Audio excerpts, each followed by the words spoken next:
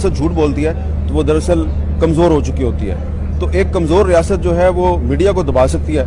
मौलाना फजलरहमान को नहीं दबा सकती। आप उसको जेल में डाल देंगे।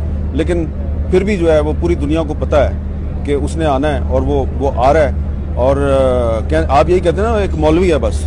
तो यार, एक मौलवी है उससे इतना क्यों डरते हो? तो रियासत इस वक्त एक मौलवी से डरी हुई है।